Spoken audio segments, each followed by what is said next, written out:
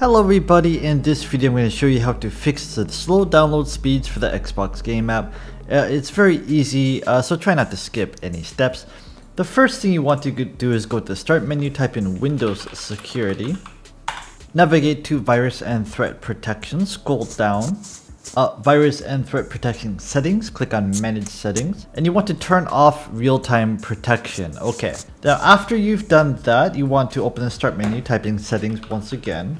On the left hand side, you're going to see Windows Update, so click on that. And scroll down until you see Advanced Options.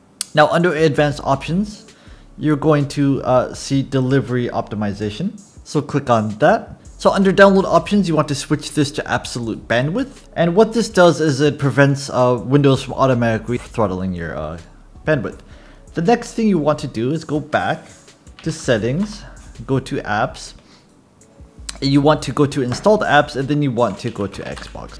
And then you want to go to advanced options, click on repair and reset and see if that fixes a problem. As a last case scenario, uh, you want to try to uninstall uh, the Xbox game app and then reinstall it. But uh, if you follow these options, that shouldn't be uh, necessary.